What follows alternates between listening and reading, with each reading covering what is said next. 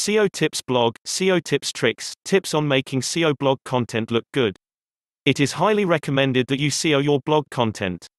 It is not recommended, however, that you make your blog sound stiff and technical for the sake of attracting search engines. When it comes to actually incorporating your keywords into your blog copy, keep in mind that the best blogs are the ones that sound casual. Nobody wants to read a robotic, repetitive piece of copy. One key to keeping your blog looking neat and readable is to keep the content less than 300 words. 250 words per blog is ideal. Keeping them looking reasonably uniform and the same length is also more visually eye catching and more likely to keep curious eyeballs on your page and not someone else's. Another thing you need to note is the way the headline of your blog article looks.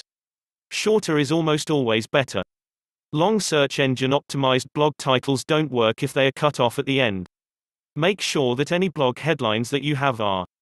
You should also make sure that your blog headlines are not too commercial or corny sounding. For instance, a blog title such as Make Thousands a Day Using SEO is not going to work as well as a subtler phrase such as How SEO Let Me Quit My Day Job.